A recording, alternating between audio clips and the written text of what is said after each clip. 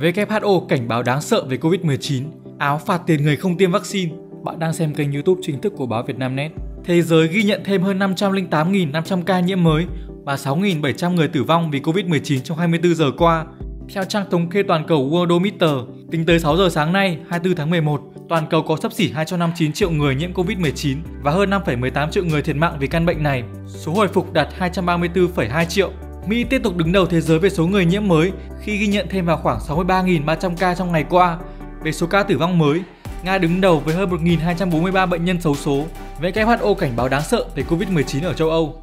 Văn phòng châu Âu của Tổ chức Y tế Thế giới WHO cảnh báo khu vực cùng 53 quốc gia này có thể ghi nhận thêm 700.000 người tử vong vì Covid-19 trong những ngày tháng sắp tới. Hiện châu Âu đang đối mặt với đợt bùng phát dịch khiến châu Á phải phong tỏa toàn quốc và Hà Lan áp đặt các hạn chế. Đức cũng đang cân nhắc triển khai các biện pháp chống dịch nghiêm ngặt hơn.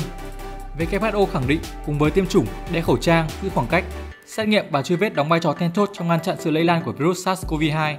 Áo phạt tiền người không tiêm vaccine, các nhà chức trách Áo thông báo khoản phạt lên tới 4.000 USD với những ai từ chối tiêm vaccine khi chương trình chủng ngừa bắt buộc được thực hiện từ tháng 2 năm 2022. Hình phạt này là một trong những nỗ lực của chính phủ Áo cương quyết thúc đẩy tiêm chủng nhằm kiểm soát đại dịch khi nước này đang hứng chịu làn sóng dịch mới với số ca nhiễm tăng vọt. Theo kế hoạch có hiệu lực từ tháng 2 năm 2022, nhà chức trách sẽ đặt lịch hẹn tiêm cho những người chưa tiêm mũi nào. Nếu từ chối họ sẽ bị phạt tiền và nếu không nộp phạt, các đối tượng thậm chí phải nhận án tù. Có tỷ lệ tiêm chủng ở mức thấp nhất ở châu Âu. Áo trở thành nước đầu tiên ở Tây Âu bắt buộc người dân tiêm ngừa vaccine COVID-19.